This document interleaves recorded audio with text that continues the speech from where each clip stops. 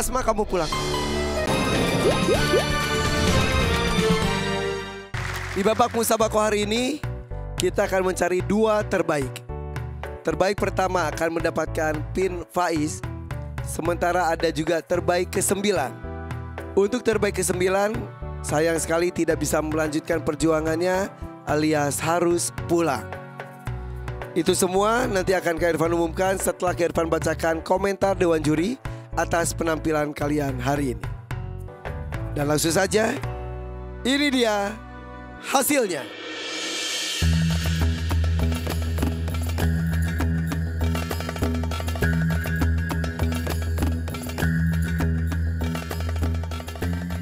Komentar yang pertama untuk Kausar 11 tahun Semarang 15 juz.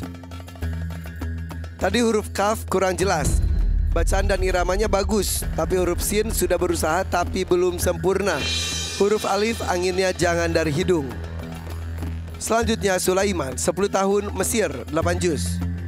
Butuh waktu untuk menjawab, kelihatan nervousnya seperti terpotong-potong ketika membaca ayatnya. Mahrojnya pun bagus. Huruf lam terlalu tebal. Selanjutnya Nadia Inara, 7 tahun Tangerang Selatan 12 juz. Tadi huruf fa kurang jelas. Inara hari ini mengusahakan nafas dengan baik, menjawab pun dengan baik, iramanya pun bagus. Selanjutnya Asma, 7 tahun Cirebon 20 juz. Saat pengejaan nama surah ada huruf lam dan alif ketinggalan. Harus fokus lagi, di ayat ke-20 ada salah baca. Dan tadi terlalu lama sampai harus dibantu. Huruf ro jangan dipantulkan karena bukan termasuk kol-kolah. Kurang fokus, belum bisa maksimal. Kuatkan hafalan dan tambah lagi irama. Perlu belajar menulis sambil menghafal. Selanjutnya Lala, 11 tahun Surabaya 30 juz. Saat melafalkan guna tidak ada dengungnya. Perhatikan lam, hampir semua lam dibaca tebal.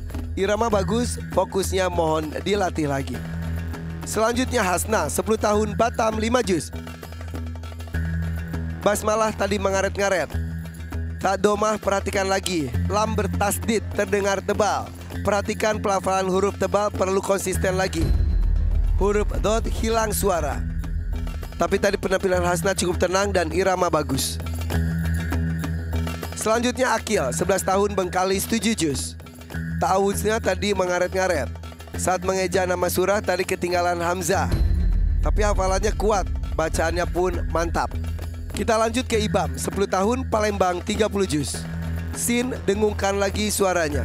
Udara harusnya lurus dan ke bawah karena irama tak sengaja menebalkan huruf.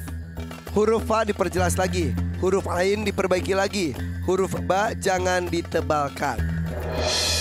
Terakhir Zahra, 10 tahun Malang 12 juz. Pelafalan surah bagus, gunanya harusnya tipis. Perhatikan huruf H, perhatikan kof kurang tebal dan juga perhatikan huruf fa. Dari komentar tersebut menghasilkan nilai untuk kalian peserta. Dan Kak Irfan akan meminta tiga peserta maju ke depan. Yang pertama adalah Zahra.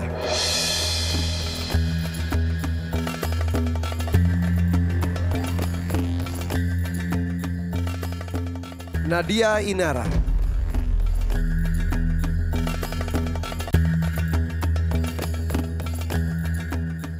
Akil.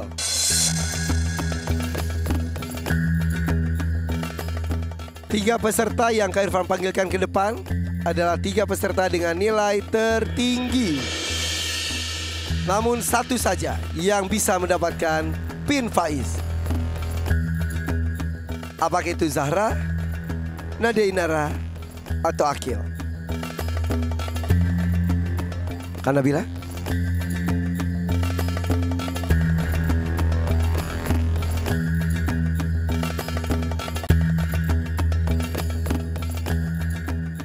Apakah ini akan menjadi pin Faiz kedua untuk Akil?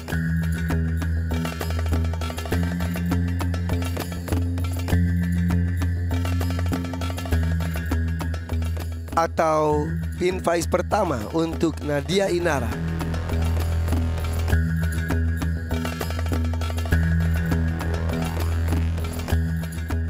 Begitupun dengan Zahra.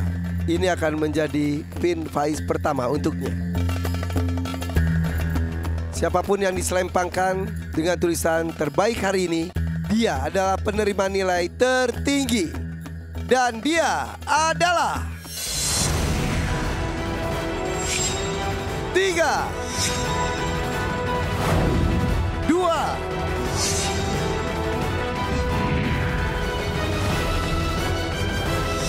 satu silakan. Selamat untuk Nadia Inara. 7 tahun Tangerang Selatan dan hafalan 12 juz mendapatkan nilai tertinggi hari ini dan mendapatkan pin Faiz pertama untuknya. Selamat Nadia Inara. Mana senyumnya? Selamat Nadia Inara mendapatkan nilai tertinggi dan pin Faiz. Penyemangat untuk kamu. Selanjutnya saya Husain Jaber. Selain selempang dan juga pin Faiz untuk penerima nilai tertinggi. Untuk Nadia Inara juga mendapatkan satu unit Islamic smartphone. Selamat untuk Nadia Inara dan juga selamat untuk Zahra. Begitupun Akil, kalian bertiga lolos ke babak berikutnya.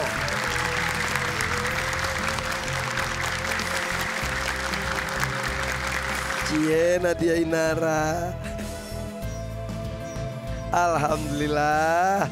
Selamat. Nadia Inara menjadi penerima pin Faiz hari ini. Selamat juga untuk Zahra dan Akil. Masih ada enam peserta lainnya yang belum tahu siapa yang harus pulang dan menjadi terbaik ke sembilan. Langsung saja, ini dia hasilnya.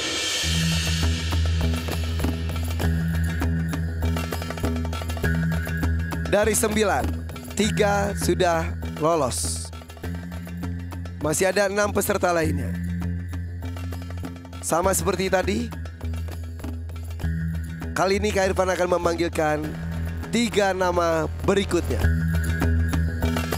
Lala. Sulaiman. Kausar.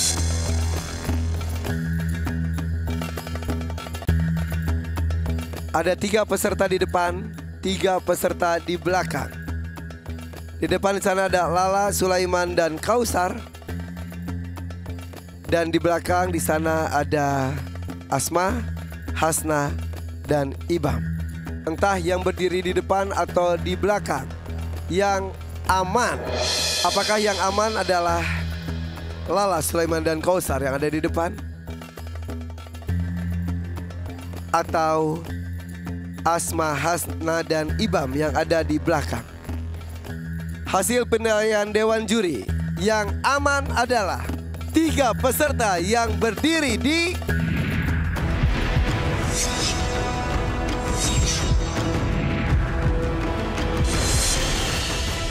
depan. Selamat Lala Sulaiman dan Kausar.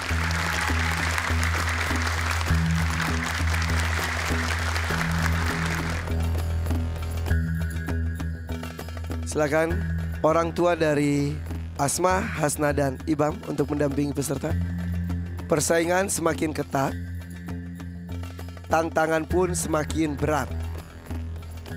Jadi kesalahan kecil saja bisa berakibat fatal dan mengantarkan kalian untuk pulang.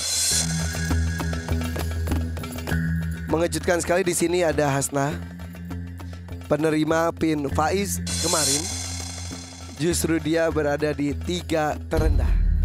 Begitupun dengan Ibam dengan hafalan 30 juz sudah dua kali pulang dan mendapatkan syafaat.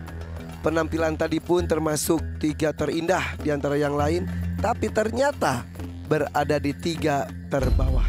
Di sini pun ada Asma dengan pelafalan huruf terbaik menurut Dewan Juri yang biasanya dengan penilaian itu selalu menyelamatkan Asma.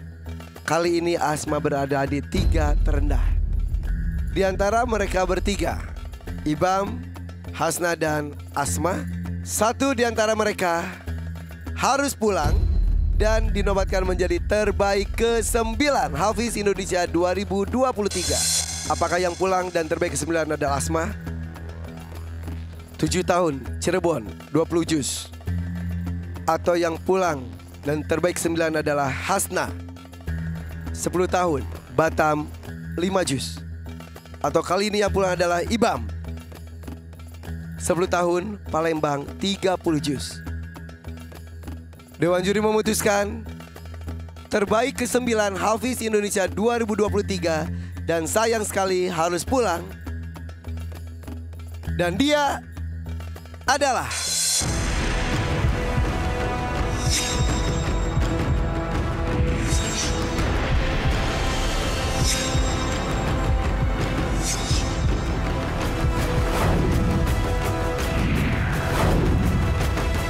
Asma kamu pulang.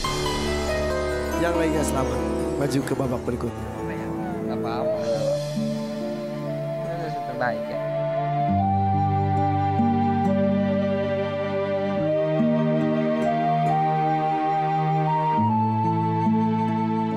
Si kecil itu harus pulang. Asma yang selalu ceria. Dia sangat suka bermain. Dan dia bahagia sekali berada di Hafiz Indonesia. Kesedihan ini bukan kesedihan kekalahan. Tapi kesedihan perpisahan. Dengan para calon penghuni surga. Silakan Dewan Juri. Asma boleh ke tengah. Usia 7 tahun dengan hafalan Sebetulnya sudah 30 juz Tapi ditulis 20 juz saja katanya Silakan Asma tuh ada kado tuh hadiah tuh Bingkisan dari Kanabila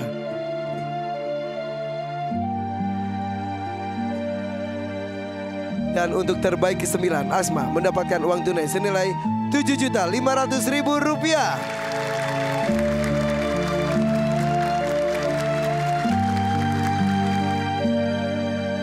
Mana pecinta Quran? Yang mana? Yang mana? Di mana? Siapa? Allahu Akbar, Masya Allah. Ayo adik-adik kita lihat, ini dia perolehan nilai untuk hari ini. Nadia Inara tertinggi di 148 poin, beda satu poin saja dengan Akil. Zahra di 142 beda satu poin dengan Sulaiman Begitupun beda satu poin dengan Kausar Beda satu poin juga dengan Lala Ibam di 137 beda satu poin dengan Hasna Dan terlihat Asma cukup jauh di bawah Hasna yaitu di 116 Menyebabkan Asma harus pulang dan menjadi terbaik ke 9 Semangat semuanya ya